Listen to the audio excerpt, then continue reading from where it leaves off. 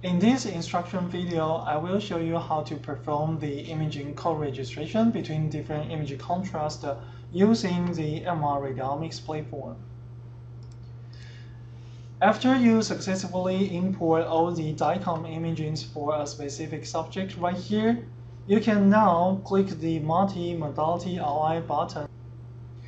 A new uh, figure will pop out showing all the series for the selected uh, study number.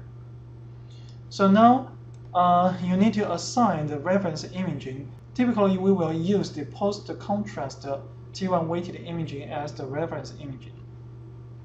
So you can simply select the actual T1 weighted imaging with contrast agent and then click the Add button under the reference image list. Then you will assign this specific sequence as the uh, reference image.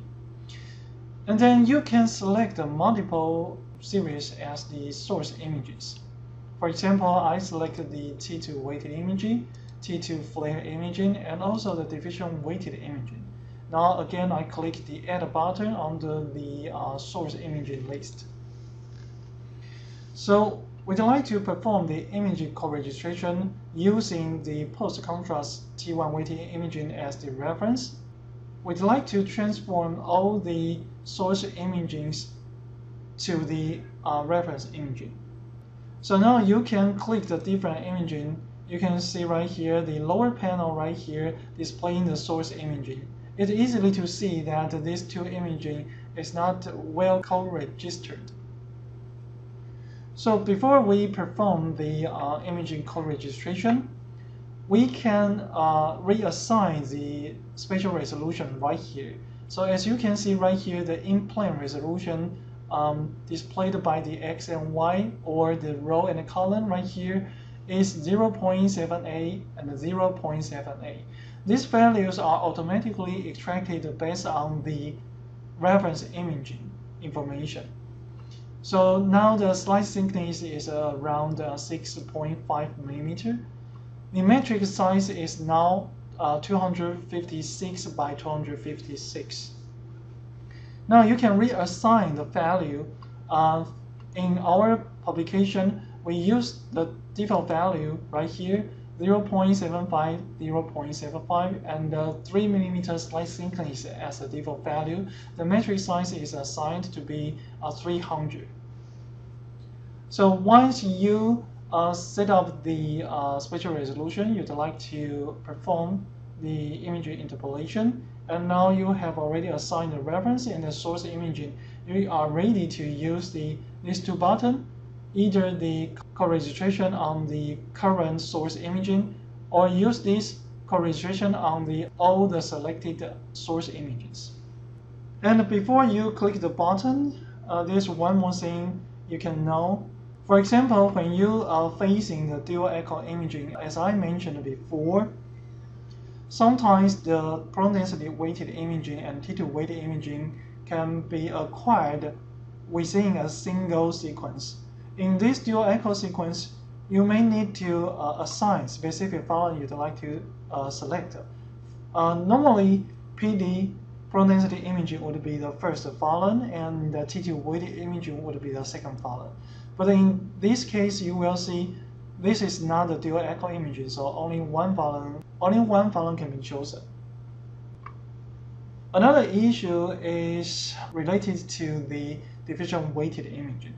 You can now see this is the raw DWI diffusion weighted imaging right here, but sometimes we may want to uh, use the ADC apparent, apparent diffusion coefficient map as the image contrast.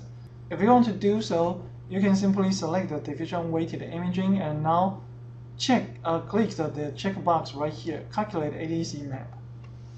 Because in some situations, diffusion weighted images with different B values such as the B0, B1000 may be uh, assigned into different sequences.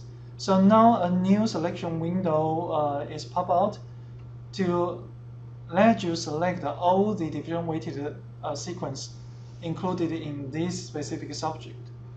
For this case, only one diffusion weighted images uh, series was uploaded, so we only need to select this single one click OK. So now, based on the uh, spatial resolution you assigned, the program will uh, perform the image interpolation to fit, fit for this assigned spatial resolution. And now you need to uh, manually assign which image is the B0 image.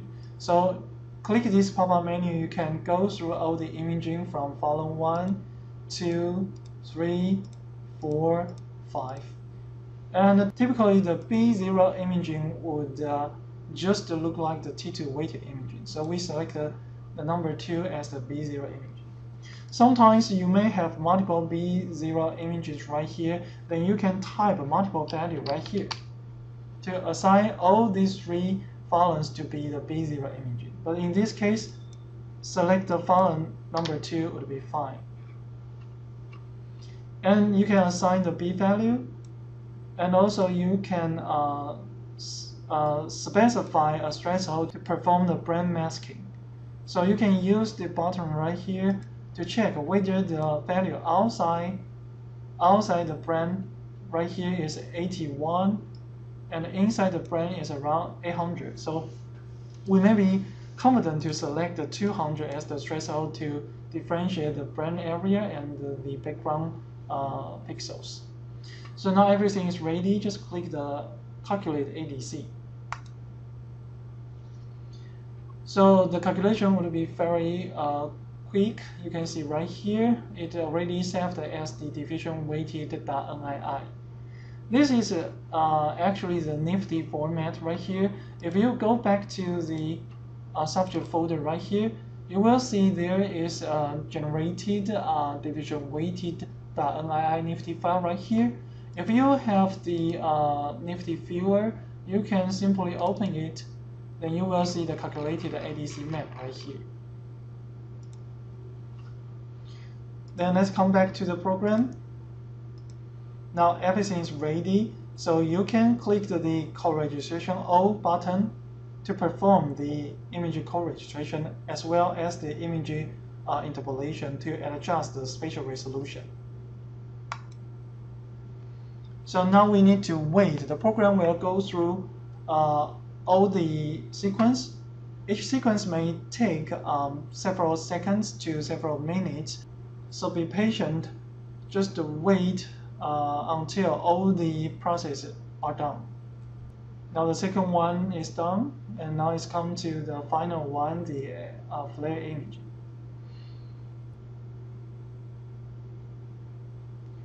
Once all processes are done, you will see the message window right here. It takes uh, almost 70 seconds to finish all the three image co-registration. So now you can uh, review the result by switching the display mode from raw imaging to the co-registered imaging right here. So as you can see, now the upper one is the reference imaging and the lower one is the uh, T2 FLAIR imaging. It looks like the correlation uh, performed pretty well. You can switch, now it's T2 weighted imaging. It's ADC map right here. So by quickly review the uh, slides uh, using the mouse wheel, just scroll it up and down, then you can switch, uh, you can view different slices right here. In some cases, you may suffer bad image co-registration. In this moment, you may perform uh, some manual adjustment right here. So you can simply um, input the number you'd like to adjust. The unit is in pixel, not in millimeter. Please be aware. So if you want to manually um, adjust the imaging, you just need to input some number right here. I may put a large number right here, like 5 pixels. You can you may see the imaging will shift 5 pixels along the z-axis. So you can see right here. If you want to uh, redown this, just put a minus 5 number right here. And please make sure you finally will put a 0 right here. So no more manual adjustment will be performed. So as you can see right here. Once all the processes are done, you can now uh, double check your files in the subject folders. You will see uh, each sequence will have its transformed uh, NIfTI file right here, including the original images and the images co-registered to the reference uh, actual T1 image right here. So make sure all source images uh, have the relevant file with the prefix of REG, representing the co-registered imaging for each sequence. So now, the image co-registration and uh, image interpolation or resampling to adjust the spatial resolution are all done right here. Next step, we will introduce the um, multimodality RI in the next instruction video.